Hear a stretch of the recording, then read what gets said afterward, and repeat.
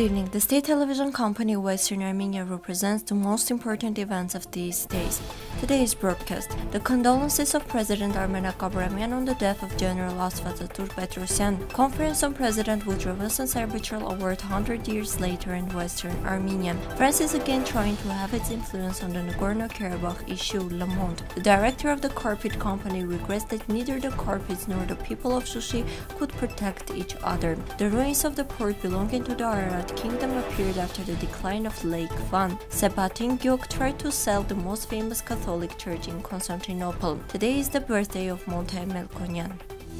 On November 24, Major General Astvatsatur Avetik Petrosyan, former Deputy Minister of Defense of the Republic of Armenia, founding Vice Chairman of the Union of Yerkrapah Volunteers, Commander-in-Chief of the Eagle Suicide Squad, Chairman of the Eagle Suicide Squad non-governmental organization, passed away of a serious illness. President of Western Armenia Armenak Abrahamyan expresses his condolences on behalf of Western Armenia to the general's family, relatives and comrades in arms.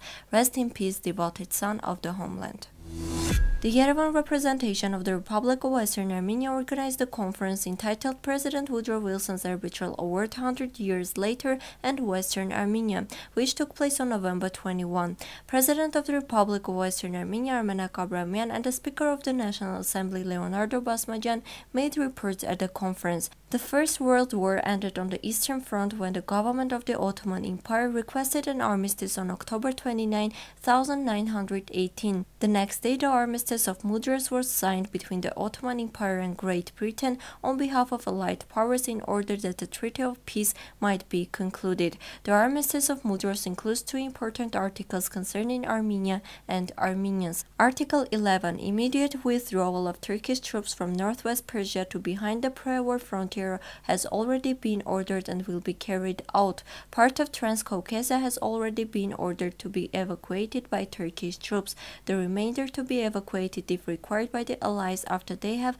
studied the situation there. Article 24. In case of disorder in the six Armenian vilayets, the Allies reserve to themselves the right to occupy any part of them.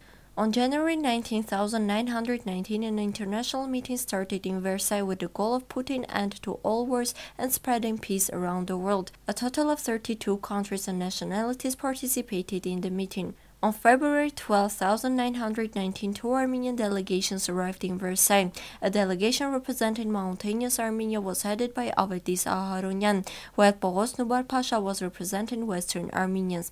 The pair presented their demands for Western Armenia to encompass territory from the Mediterranean to the Black Sea, Javakh, Artsakh, and Nakhichevan. Upon hearing the Armenian demands, the head of the Great Britain's delegation, Mr. Lloyd George, told the Armenian delegation that there were not enough enough Armenians to fill the demanded land. On June 28, 1919, the Covenant of the League of the Nations was signed as part of one of the Treaty of Versailles. You can read the full article on our official website.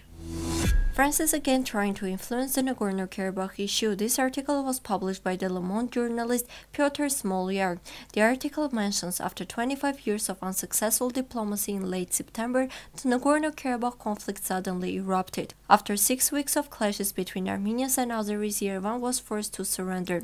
A ceasefire was signed on November 9 under the auspices of Russia. The weapons were silenced, but nothing was resolved.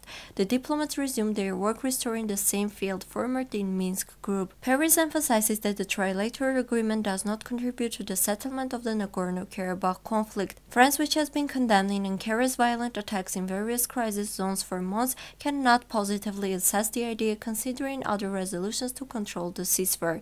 The full article is available at the following link.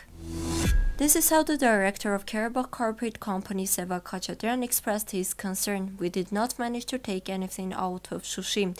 Nobody imagined such development. All the Armenians of Artsakh and all Armenians had always considered Shushi as one of the safest places in Artsakh.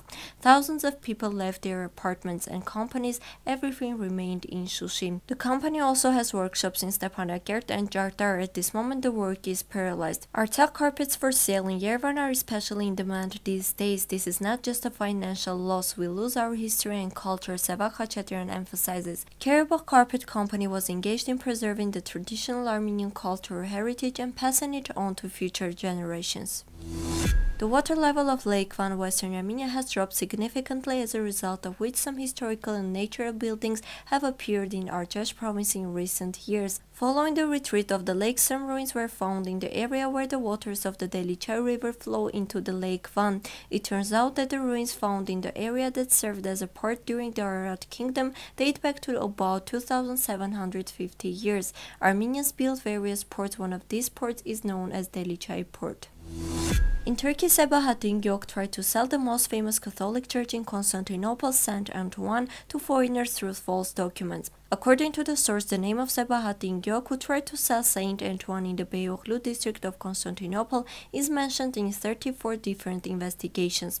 The publication mentions that Gök visited the USA, France, Italy, and other countries, found the heirs of the property owners of the church, and tried to sell them the church. Sebahattin Gök was arrested. It should be noted that the Church of Saint Antoine was founded in the early 18th century by the Italian community of Constantinople. However, the church has stood for only 180 years. It was demolished in 1904 because it was interfered with tramway rails. Then another land was provided where the current Saint Antoine was built in 1906.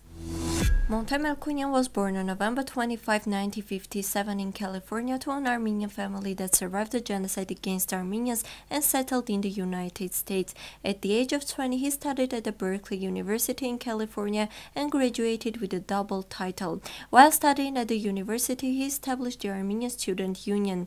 In 1978, he entered Oxford University but did not finish. Went to Lebanon during the Civil War and took part in the defensive battles of the Armenian quarter of Beirut. He was the leader of an offshoot of the Armenian Secret Army for the Liberation of Armenia in the 1980s and the most celebrated commander during the Nagorno-Karabakh War in the early 1990s. He was arrested in Paris in November 1985 and sentenced to six years in prison for possession of falsified papers and carrying illegal handgun.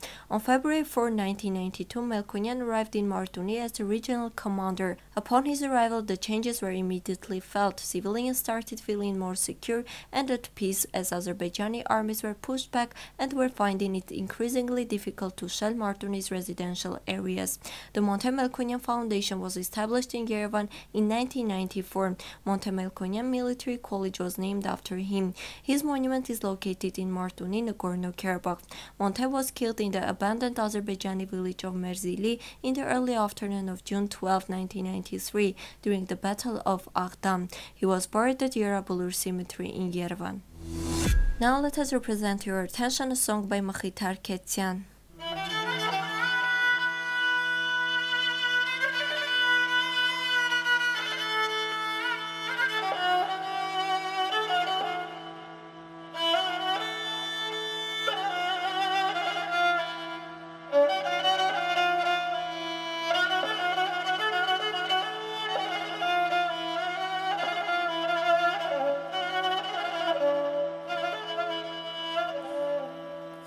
Ես խսիրեմ գործում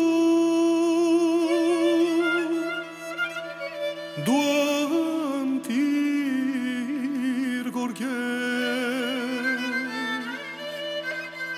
Իզուր ես նեղանում Ինձնից մարտանքեր